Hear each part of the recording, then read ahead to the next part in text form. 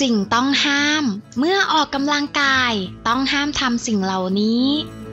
สวัสดีค่ะคุณผู้ชม การออกกำลังกายถือว่าเป็นการมอบของขวัญที่ดีที่สุดให้กับสุขภาพ เพราะการออกกำลังกายอย่างสม่ำเสมอ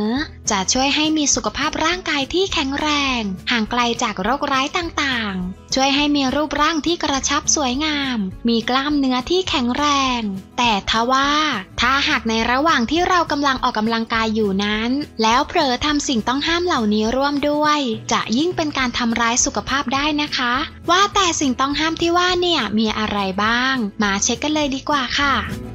1. อย่ากินอาหารในปริมาณมาก ก่อนออกกำลังกายทุกครั้ง ถ้าหากต้องการที่จะกินข้าวเพื่อเพิ่มพลังงาน แนะนำว่าให้กินในปริมาณน้อย อย่ากินมากจนเกินไป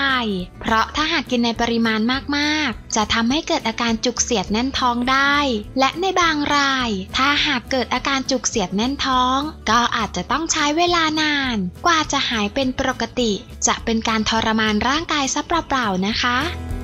2. ไม่ควรใช้อุปกรณ์ต่างๆ สัมผัสผิวหน้าขณะออกกำลังกาย ไม่ว่าจะเป็นสายคาดหน้าผาก หมวก หรืออุปกรณ์ต่างๆ ที่ช่วยในการซับเหงื่อ เพราะบางท่านอาจจะเลือกใช้อุปกรณ์เหล่านี้ซับเหงื่อป้องกันไม่ให้เหงื่อไหลเข้าตา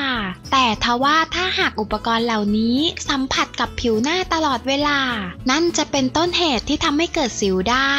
หรือถ้าหากมีความจำเป็นต้องการใช้อุปกรณ์เหล่านี้จริง ๆ แนะนำว่าให้ใช้ได้แต่ไม่ควรเกิน 30 นาทีจะดีที่สุดค่ะ หรือถ้าหากคุณไม่สนใจกับสิวที่จะเกิดขึ้นบนใบหน้า คุณก็สามารถใช้ได้โดยไม่ต้องกลัว และสามารถใช้ได้นานตามที่ต้องการได้เลย แต่ทุกครั้งหลังใช้ก็ควรทำความสะอาดด้วยนะคะ 3. ไม่ควรแต่งหน้าก่อนออกกำลังกาย ข้อนี้ต้องขอเตือนคุณสาวๆแล้วล่ะค่ะ อย่างที่รู้กันดีว่า การออกกำลังกายก็คือการเรียกเหงื่อ ดังนั้นการแต่งหน้าก่อนออกกำลังกาย ไม่ว่าจะเป็นรองพื้น แป้ง บรัชออน หรืออื่นๆ จะรวมตัวกับฝุ่นและเหงื่อใคร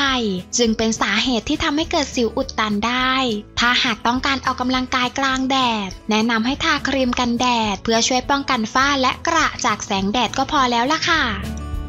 4. ไม่ควรดื่มน้ำในขณะที่กำลังออกกำลังกาย ร่างกายก็สูญเสียเหงื่อในปริมาณมาก จึงเป็นเรื่องปกติที่ร่างกายต้องการน้ำแต่ขอแนะนำว่าการดื่มน้ำขณะออกกำลังกาย หรือดื่มก่อนออกกำลังกาย ไม่ควรดื่มในปริมาณมากนะคะ เพราะจะทำให้เกิดอาการจุกเสียดแน่นท้องได้ ควรจิบทีละเล็กทีละน้อยจะดีกว่า